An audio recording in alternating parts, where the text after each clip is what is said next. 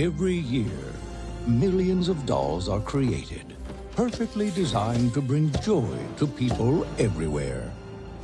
But what happens to the dolls who aren't so perfect?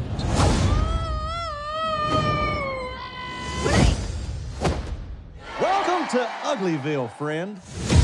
Wake up, Moxy! I've always believed the big world is real. I know I'll find the perfect kid for me, but I'm starting to wonder with no evidence, no proof, what if it's not true? Hmm.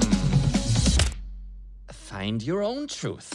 Come on! Wow! Guys, what if this is the way to the big world? How do we get up there? Hey, anytime now, guys.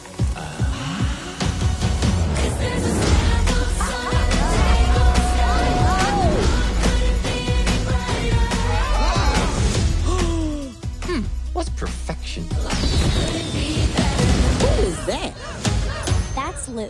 He's the most perfect one here. Let me break it down. Welcome to the Institute of Perfection, where only the best will meet their perfect human match. You're an engineer slash model. My accessories will make me different. You're a lawyer slash model. I'm an individual, exactly like the rest of you. You're not a model. Data does not compute.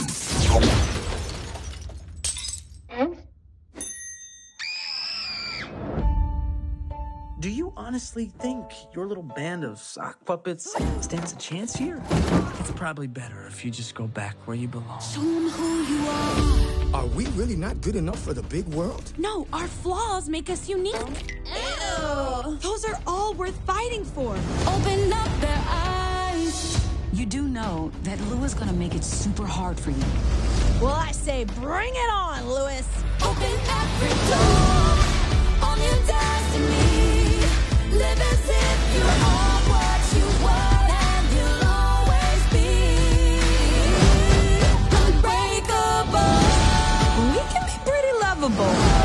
Bless their ugly little hearts. Getting crazy, getting loose. What's your name? Wedgehead? I love literal naming. Isn't that right, gibberish cat?